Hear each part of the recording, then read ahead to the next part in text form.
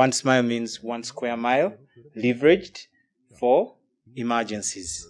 If you get a one square mile grid and plot it out and leverage each road, we are looking at one square mile of a road. So we are looking at how to encourage the community, especially citizen scientists, to come up and own up and adopt one square mile, just one like this. The key subject matter we are engaging as uh, as people at at One Smile Project is to look at the case of the boda boda menace. In Uganda, we call them boda bodas, motorcycle ambulances, motorcycles. I don't know what you call them here. In Nigeria, they call them Okada. In Uganda, we call them boda boda. We realize that uh, every year we are having a lot of deaths. The, the accident count is 7,863 accidents per year. When you break that down to an hour, there's an accident every hour. And four out of five of those accidents are related to boda bodas. And who ride those boda bodas? Young men, 100%. So at the end of every day, by the end of today, we'll have 10 bodies in the morgue from those casualties. At the end of the month, we have 1,000 casualties. That's just Mulago National Referral Hospital. Mm-hmm. When you do the maths, the World Health Organization said it very well that road accidents are the leading cause of death and disability in the world, and predominantly discriminating to kill young people aged 5 to 29. They even add the most scary statement that if you observed carefully, road, road accidents are actually taking a toll and uh, rivaling malaria and HIV. So that for me was a, a, a, scary statistic, something that caused me to, to own up and say, what can we do at the lowest level? So that's the kind of challenge we have in Uganda. It also comes with an opportunity. The boda boda have, they're an opportunity in Uganda because we have 300,000 of them in Kampala city alone. And when you move, uh, just to break it down a little bit, there are, there, uh, the boda boda industry is the second largest employer in Kampala city, a city of 3 million people. So that means we have a lot of people targeted by this challenge. And why do we ride boda bodas? I ride boda bodas a lot. Number one, they are resourceful. Those guys can get you anywhere in the city in 10 minutes. 10. Um, they can make a roundabout where it is not. These guys are so creative. They can get you anywhere. If they need to ride a ramp, they will do it. In fact, on my first baby, my son, we had an issue. Uh, she, she got birth pains late in the night and I was a bit brockish. I had not got money that day. So my wife has the birth pains and we have to get to hospital. So we ride a cab at the taxi and it puts us somewhere on the highway and we can't go any further. And at 11:30, the only ride I could get was a lawn motorbike. So we caught our, a mattress, not the mattress, the the basins and the other maternity equipment. So as a, a, an expectant dad, I needed to own up. So I told my wife, you know what? Let's get onto this bike. The road to the hospital is highway. So let's get onto this bike. We'll get there in about 10, 15 minutes. Her water had already broken, so it was rush hour. So two of us got onto the bike with our basin, blanket, and I told the guy, right away. That's how we got to the hospital just in time. We didn't know that the baby had got distressed. So when we got to the checkup to the main hospital, they told us, you know what? Um, if you hadn't arrived in time, you would have two dead bodies. So thanks to the boda boda, we were able to remedy the situation. She had to had, have surgery. The child had fetal distress. So, and what we didn't know is that the baby had turned. The head was down at the first uh, ultrasound, but when in the last month, we don't know what happened, how he did it, but he flipped over And when we arrived at the hospital, they told us the guy is seated. Oh, surgery immediately. So boda bodas actually saves lives. And I have a personal experience. But they are also death traps. So what we are looking at is how in Uganda we have a proverb which says, uh, enkoba za mbogo zejja zokka mu bunya. This, uh, it's, it's about hunters that a buffalo has its own ropes inbuilt. So you don't go with ropes when you go to hunt a buffalo. You just go, get it trapped in a hole, it falls into the spikes, and its very skin, when you cut it, creates the ropes which the hunters use to send up the meat from the buffalo. So inside every big problem is the very solution, the very DNA of the solution to solve it. So we said we are going to flip the health system round and instead of taking people to the hospital, bring the hospital to the people. So entering the boda boda ambulance. In Sydney, uh, the car ambulance comes in 12 minutes. The boda boda ambulance comes in six. It's 19 motorbikes to one Toyota Land Cruiser ambulance. Cost saving there and then. So our, our focus is now on deploying boda boda ambulances, about a hundred of them for every black spot. So that's why we need the community engaged in, in this entire system. And we are using the open data iceberg. I picked it from some researchers from Denmark, some Dutch. They, they, uh, they also, it's a Dutch collaboration. They, they talked about the open data iceberg. Most of us look at the technology, but that is not the heart of the iceberg. That's why today I'm not talking technology. I'm talking people, the very bottom. So we are looking to target at the very bottom the mindset challenge to move people from being bystanders to being upstanders. An upstander is a person who, when they see something going wrong, they stand up to be counted, to do something, however small. And in our case, we are looking to challenge the local community in East Africa, we have 150 million people. 35 million live in Uganda.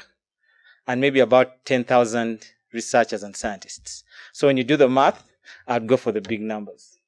So we turn the local people, the local communities around these highways into upstanders, people who will do something. And how will they do it? That's how we introduced the 1 million smiles campaign.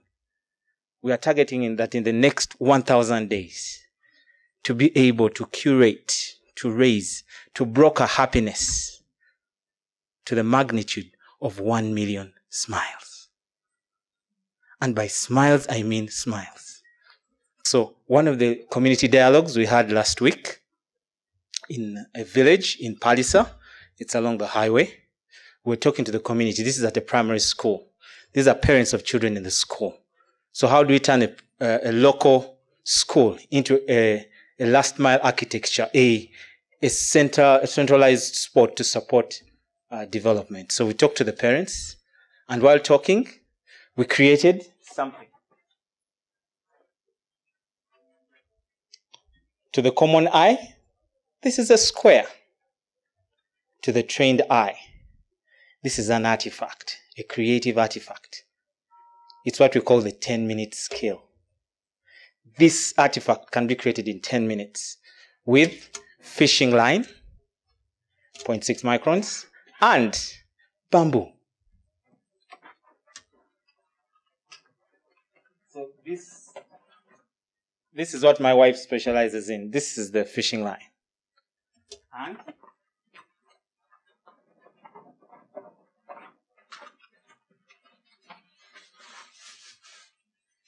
and some bamboo. Because the biggest challenge in Africa is with so many innovations, you want people to come and make calls, report data, and do all of that good stuff. But they don't have the means. The kind of work they do sometimes is very financially eh, challenging. So, one of the key things that we demonstrated that day is men older men, young men, young women, young children. We started creating smiles. In 10 minutes, this lady was able to make her square that square can be sold for $5. And it can support her. It can support the initiative in that village. It can support their school. So as we, we, we reach out to do the smiles, this is a, a group of young boys. They also did their own click and they decided to participate. So instead of doing the normal way we do research, bring questionnaires, I told you we decided to flip the whole thing. People were fighting to get involved in this study. They were fighting to be part of the solution. Women were fighting to finish their pieces. Now this is the LC2 counselor. This other lady on the left is the women's counselor for that village. They expected us to give so many speeches academically and all that, but we flipped it. I just brought a, a set of beads, poured them on the table, fishing line, and we started demonstrating. They realized, oh, this is hands on. It's a village meeting, but of a different kind. It was supposed to take 30 minutes from midday to uh, midday 30. We left at 4.30 with a lot of coercion. We were beat by the rain. I tried to tell the people, please, let's get into the classroom. And they said, no, we are not leaving. We have to finish our pieces. So that is the power. So I want to make a 10 minute response. You can call me the 10 minute man. Because one smile graphically translates into 10.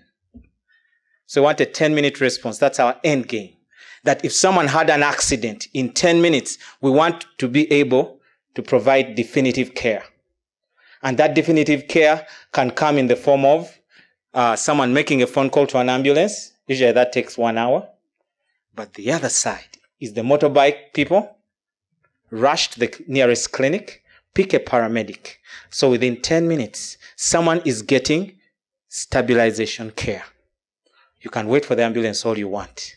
But in the meantime, we need to save lives. So we bring the hospital to where the person is. So as we go on, we are even taking it more ambitious to create a mobile hospital. In the sense that surgeries can be done on spot because research shows from Maryland in the US that um, every 15 minutes, after the first 15 minutes and 15 to 20 minutes, every 30 minutes, the mortality rate triples. So we have a pile of dead bodies every 30 minutes. So imagine there's an accident. So our entry point is to start with 10 ambulance response teams, what we call ARTS. Just 10. They are deployed across the northern bypass, which is one of the highways along uh, the northern corridor, Mombasa to Bujumbura. We are starting with the northern bypass, which is um, outside Kampala. So that's about, realize if we got just 10 ambulance response teams. We get the boda bodas, those bikes, they, they, they are actually based at work groups. They, they sit in groups of 10, 15 at certain intersections. We turn them into ambulance response teams. That's the beauty of citizen science. You turn citizens into the very solution to the problem. Then uh, that will be in 10 months. We want to launch fully in 10 months by end of this year. Then uh, the next entry point is storytellers. We want to tell value stories. Stories about boda boda men who are starting to drive safely. Stories about uh, citizen scientists, young men, young women who are brokering happiness. Our key mantra in this entire story is to broker happiness. Happiness to a father is a wife who has delivered very well in whatever emergency. I don't care how many PhDs you have. If you can assure me that my wife is going to live, my baby is going to live, that for me is happiness. So those are the kinds of stories we are going to curate in the next 100 weeks. That's about two years. So those are the value stories. And the, the, the last layer is uh, 1,000 artifacts. They could be di- digital, but you want to engage communities, schools, universities, clinics to become creative spaces where we create hope, we manufacture hope. It's not, what brings me to the hospital is not to get treated. That is so wrong. I come to get my happiness back. I slept poorly. So when I come to the hospital, I'm paying to get back my happiness. So that is why we go to hospitals. So because hospitals don't offer much of that, we decide to go elsewhere. So that's the point about concierge. If Muhammad cannot go to the mountain, let the mountain come to Muhammad. And we want to target that in a thousand days. That's just about three years. So in a thousand days, to get 10 ambulance response teams, 100 storytellers on track, and uh, a thousand artifacts. And that's how the movement of first responders will finance itself. Now, that young lady is my baby girl, Daniela. Now, to get that shot, it has taken me about two months and two weeks to capture that smile. Because for a baby to smile, you need to have woken up at the right time. She wakes up early and she needs to find you there. Number two, she needs to have breastfed well. Number three, she should not be in a wet diaper. Number four, you need to be smiling back. That's why the concept of happy healthcare workers is so critical. So we want to curate one million smiles. I've started with one. If you can curate one smile, then you can get a million. She's one of the reasons why I'm doing this project. My inspiration. So that in the next 15 to 20 years, when I give her away, she will have something and she can say, I had a great man in my life. So I also stand to be a first responder. So that is the kind of community we are raising. And we want to tag the father, the father heart to engage at that level. Then the portal. So the portal has a number of sections. Um, up here is where we have the, this is the, the, the hero page since in Africa, I don't know other places, we are very visual animals. We, we respond to imagery. So that's going to be our hero page where we flash photos of happiness, photos of health workers saving lives, photos of citizen scientists, young men, young women doing something to prevent or to report these accidents. So at the top here, we'll have uh, our um, it's it's a, a button. It's a live button. I'll need to demonstrate it live.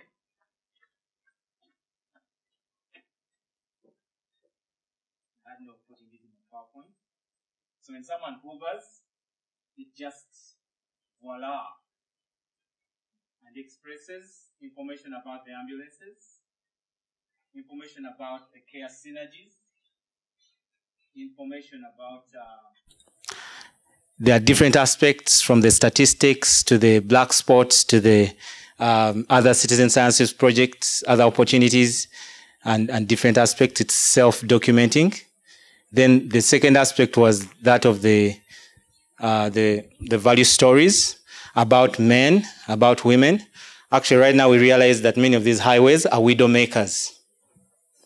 They are killing young men at such a rate we're having a, a widow overflow.